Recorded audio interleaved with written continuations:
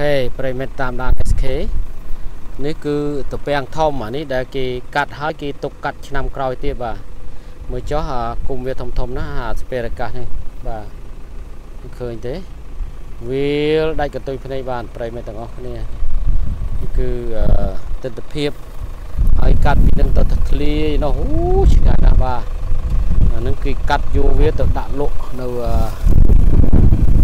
តាមប្រទេសនីមួយៗនិ ងតាមហាងនីមួយៗនេះតពាំងធំតែមិនអាស្ពេរកាសធំតែម្ដងបាទនេះគឺសូមឲ្យបងប្អូននេះគេលើករងអញ្ចឹងបាទនេះគឺរងហើយគេដាំទៅហើយគេពេលដល់ខែខែកាត់ហ្នឹងគេឈូសអាដើមចាស់ហើយគេលុបគេកាយរៀបរងសាថ្មីទៅហើយបានគេលុបសាថ្មីហើយទៅគេពូនរងមកវិញហើយបានគេចាប់ផ្ដើមឲ្យតពាំងដោះគេស្រោចទឹកទៅតពាំងដោះទៅវានឹង កាត់បានហើយហើយមើលផ្លែហ្នឹងខ្ញុំដោយសារ